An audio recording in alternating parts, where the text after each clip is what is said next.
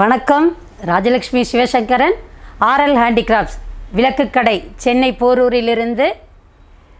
இன்றைக்கி நாம் இந்த சுச்சுவேஷனுக்கு அதாவது இன்றைக்கி லாக்டவுன்லாம் அனௌன்ஸ் பண்ணிட்டாங்க. இன்னும் ஒரு பதினஞ்சு நாளைக்கு வந்து நம்ம வந்து வீட்டில் பாதுகாப்பாக இருக்கப்படி சொல்லியிருக்காங்க. ஸோ அந்த டைமில் நாம் நம்ம வாராகிய என்ன மந்திரம் சொல்லி வழிபடலாம் அப்படின்றதுக்கான பதிவு தான் இது. நம்ம விளக்கு கடையிலேருந்து நிறையா வராகி அம்மன் வந்து நிறையா வீ வீடுகளுக்கு போயிருக்காங்க. நம்ம ஆல்ரெடி பழைய பதிவுகள்லேயே சொல்லியிருக்கிறோம். அதே மாதிரி நிறைய பேர் கமெண்ட்லேயும் போட்டிருந்தீங்க. ஏன் வராகியை தவிர வேறு எதுவுமே போட மாட்டேங்கிறீங்க அப்படின்னு. ஏன்னா வராகி வந்து அவ்வளவு பெருமையும் சக்தி வாய்ந்த தெய்வம். அவளை எடுத்ததுக்கப்புறம் எங்களால் வேறு எதையும் பார்க்க முடியலன்னு கூட சொல்லலாம். அந்த அளவுக்கு இங்கே நிறைய ப்ராடக்ட்ஸ் இருக்குது நம்ம விளக்கடையில் கிட்டத்தட்ட ஐயாயிரம் ப்ராடக்ட்டுக்கு மேலே இருக்குது அப்படின்னாலும் நாங்கள் இந்த வராகி அம்மனை ஒரு ப்ராடக்டாவோ ஒரு வெல் நாங்கள் விற்கக்கூடிய ஒரு பொருளாவோ பார்க்கல. இதை எங்களுக்கு ஒரு பாக்கியமாக தான் கருதி கொடுத்துட்ருக்குறோம். இதோட ஃபீட்பேக் நம்ம கஸ்டமர் வாங்கின கஸ்டமர் அவங்க வீட்டுக்கு வந்ததுக்கப்புறம் கொடுக்குற ஒரு சில வார்த்தைகளெல்லாம் அப்படியே கேட்கும்போது உண்மையிலே எங்களுக்கெல்லாம் அவ்வளோ உடம்பு மெய் சிலிர்த்து போகுது. அந்த அளவுக்கெல்லாம் அவங்க சொல்கிறாங்க இவ்வளோ கஷ்டத்தில் இருந்தோம் இதெல்லாம் சரியாயிருக்கு அப்படின்னு. இப்போது நம்ம விளக்கு கடையிலேருந்து சமீபத்தில் எல்லா வெளிநாடுகளுக்கும் போய்கிட்டு இருக்குது. வாராகி விளக்குன்றது இது வரைக்கும் ஆஸ்திரேலியாவுக்கு நியூசிலாண்டுக்கு சிங்கப்பூர் மலேசியாவுக்கு அது மாதிரி யூஎஸ்க்கு அது மாதிரி எல்லா கண்ட்ரிக்கும் நாங்கள் அனுப்பிட்டு இருக்கிறோம். கனடா லண்டன் எல்லா கண்ட்ரிக்கும் வராகி அம்மன் போயிட்டாங்க. இப்போது நம்ம சமீபத்தில் ஹாங்காங்க்கு இங்கே இருந்த உறவினர்கள் மூலமாக அனுப்ப சொல்லி ஒரு ரெக்வஸ்ட் பண்ணியிருந்தாங்க. ஸோ அதனால அவங்களுக்கு அனுப்பியிருந்தோம். அவங்க தான் கேட்டிருக்காங்க எங்களுக்கு வராகி அம்மன் வேணும் எனக்கு எங்களுக்கு விளக்கு கடையிலேருந்து வாங்கி அனுப்புங்கன்னு. ஸோ அவங்க வந்து இங்கே பணம் பே பண்ணிவிட்டு நீங்கள் ஹாங்காங்க்கு அனுப்பிடுங்கன்னு சொல்லியிருந்தாங்க.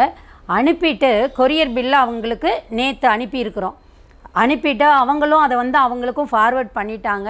சரி நேற்று கிளம்பிருச்சு அப்படின்னுட்டு இவங்க வந்து அவங்களுக்கு என்னவோ தெரியல அன்னைக்கு குச்சி கிழங்கு அவிக்கணும்னு தோணுச்சான் அவங்களுக்கு அது கிடைக்கவும் செஞ்சுருக்குது. மறுநாளே கொரியர் பில்லு அனுப்பிச்ச மறுநாளே அவங்க வந்து காலையில் குச்சிக்கிழங்கு அவிச்சிருக்காங்க. அவிக்கணும்னு தோணுச்சான் அவிச்சிருக்காங்க. அவிச்சு இறக்கியிருக்காங்க. கொரியர் வந்துருச்சான் ஏதோ பக்கத்து ஊருக்கு போகிற மாதிரி வித்தின் ஒரு டூ டேஸ்க்குள்ளே ஹாங்காங்க்கு போயிடுச்சு அவங்களுக்கு. அந்த பார்சலை கையில் வாங்கிட்டு நான் அம்பாள் உனக்கு தான் அப்போ நான் அவிச்சனா? எனக்கு நீ வர்றேன்றதுக்காக நீ வர்றதுக்கு முன்னாடியே உனக்கு உணவு தயாரிக்க சொன்னியான்னு சொல்லி அவ்வளவு வந்து அவங்க உணர்ச்சி பூர்வமாக பேசியிருக்காங்க. ஸோ எங்களுக்கு வந்து அதெல்லாம் கேட்கும்போது அம்பாளுடைய ஒவ்வொரு செய்கையும் வந்து எங்களுக்கு வந்து ரொம்பவே வந்து மகிழ்ச்சியை கொடுக்குது. நம்பி வாங்குறவங்களுக்கு எல்லாருக்குமே நம்பி வீட்டுக்கு கூப்பிடுற அத்தனை பேருக்கும் வந்து அம்பாள் வந்து உடனேக்குடனே அவங்களோட கஷ்டங்கள் எல்லாத்துக்குமே பதில் சொல்லிட்டு இருக்கிறா இன்றைக்கி இந்த சுச்சுவேஷனில் இப்போ நாங்களே நிறையா கேள்விப்படுறோம். எங்களுக்கு ரொம்ப தெரிஞ்சவங்க ரொம்ப வேண்டப்பட்டவங்க. அவங்கெல்லாம் பார்த்திங்கன்னா வாரத்துக்கு ஒரு ரெண்டு மூணு துக்க செய்தியாவது நம்மளுக்கு வந்துட்டுருக்கு இந்த கொரோனானால். ஸோ அப்படி நம்ம எல்லாருமே ஒரு வித மன உளைச்சலில் தான் இருக்கோம். ஸோ இதுக்கு ஏதாவது தீர்வு இருக்குமா? அப்படின்னு நான் யோசித்தேன் ஜஸ்ட்டு யோசிச்சுட்டு இருக்கும்போதே வேலூரில் இருக்கிற ஆதி வராகி ஆதிசக்தி வராகி பீடம் அப்படின்னு ஒரு பீடம் இருக்குதான் அது இதுக்கு எனக்கு இதுக்கு முன்னாடி தெரியாது. ஆனால் அந்த ஐயா அங்கே அந்த வராகி பீடத்தில் இருக்கிற குருஜியை நான் முகநூலில் இதிலெல்லாம் பார்த்துருக்குறேன். அவரோ அவர்கிட்ட இருக்கிற அந்த வராகி கொஞ்சம் வித்தியாசமாக இருக்கும். அதெல்லாம் பார்த்து நான் ரொம்பவே ரசிச்சிருக்கிறேன். இவர் எங்கே இருக்காருன்னு தெரியல அப்படின்னு நினச்சிருக்கிறேன். ஒரு ரெண்டு நாளில் எல்லாத்துக்குமே ஆன்சர் கிடச்சிது. அந்த ஆதிசக்தி பீடத்தில் போய் வழக்கமாக போய் வழிபடக்கூடிய மனோன்மணி அப்படின்றவங்க நம்ம கடைக்கு வந்தாங்க. அவங்கள பார்த்தாலே தெரிஞ்சது அவங்க ஒரு நார்த் இந்தியன் அப்படின்றது பார்த்தாலே தெரிஞ்சது. ஆனால் அவங்க தமிழ் பேசும்போது அது நார்த் இண்டியன் மாதிரியே இல்லை. ஆனால் அவங்க சொல்கிறாங்க ஒரு நார்த் இந்தியனாக இருந்து தமிழ் மேலே அவ்வளோ ஆர்வமாக இருக்காங்க. அவங்க நான் திருப்புகழ் பேரவைக்கு இதுக்கெல்லாம் போய்கிட்டு இருப்பேன். எனக்கு திருப்புகழ் ரொம்ப பிடிக்கும். உண்மையிலே நான் நார்த் இந்தியன் தான். தமிழ் வந்து நான் இப்போ தான் கற்றுக்கிட்டு இருக்கேன் நான் இங்கே வந்ததுக்கு அப்புறம் தான் அப்படின்னு சொல்லி சொல்லிட்டு இருந்தாங்க.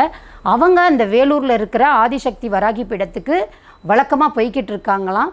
அங்கே உள்ள குருஜி இந்த கொரோனா காலத்தில் மக்கள் வந்து அந்த மரண பயத்துல இருந்தும் மன உளைச்சல்ல இருந்தும் வெளிவர்ற வண்ணமாக ஒரு மந்திர உபதேசம் பண்ணியிருக்காரு எங்கள் குருஜி. அதை நீங்கள் எல்லாருக்கும் சொல்லலாமே அப்படின்னாங்க.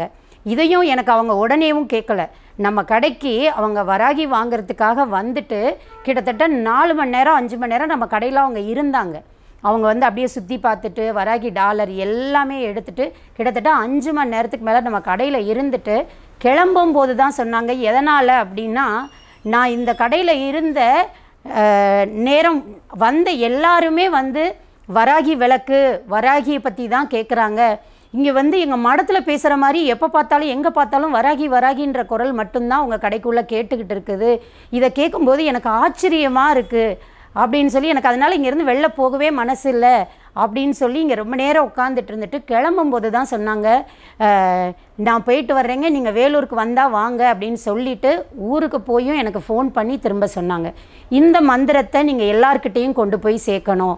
என்ன அப்படின்னா உங்களை நம்பி இந்த கடையை நம்பி நிறையா பேர் வர்றாங்க. அவங்களுக்கு எல்லாருக்கும் இந்த மந்திரம் போய் சேரணும் அப்படின்னு சொன்னாங்க. அதனால தான் இந்த மந்திரத்தை உங்கள் எல்லாருக்கும் சொல்லலாம் அப்படின்றதுக்காக தான் இந்த பதிவு. அந்த மந்திரம் என்ன அப்படின்னா ஒரு சின்ன மந்திரம்தான். தான் ஏழு வரியில் இருக்கக்கூடிய ஏழு வரிகளில் இருக்கக்கூடிய மந்திரம் தான் அதை உங்களுக்கு நான் இப்போ சொல்கிறேன் ऐं क्लौं श्रीं वं वारागि नमः स्वाहा। ऐं क्लौं श्रीं वं वारागि नमः स्वाहा। ऐं क्लौं श्रीं वं वारागि नमः स्वाहा।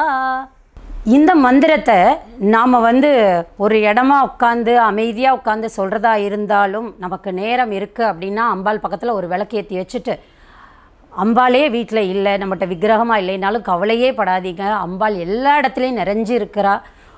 நம்மளுக்கு இந்த உருவ வழிபாடுன்றதே வந்து மனசு ஒன்றதுக்காக தான். அதனால் என்கிட்ட அம்பாள் இல்லையேன்னு யாருமே வருத்தப்படாதீங்க. நீங்கள் நினச்சாலே அந்த இடத்துக்கு அம்பாள் வருவா.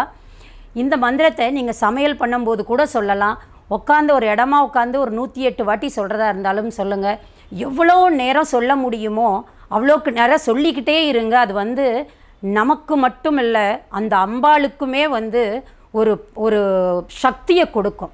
நமக்கு நம்மளை சுற்றி ஒரு பாசிட்டிவான ஒரு எண்ண அலைகள் வந்து கண்டிப்பாக நம்மளுக்கு வந்து அது பரவ ஆரம்பிக்கிறத நம்மளே உணரலாம். எல்லாரும் இந்த மந்திரத்தை தொடர்ந்து உச்சரிப்போம். அன்னையோட அருள் வந்து நமக்கு கூடவே இருந்து நம்ம எல்லாரையும் காப்பாற்றும் எல்லா வித மன உளைச்சல்லிருந்து நம்ம சீக்கிரமாக வெளியில் வருவோம். அதுவரைக்கும் அது வரைக்கும் உங்களிடமிருந்து நன்றி கூறி விடைபெறுகிறேன். நன்றி வணக்கம்.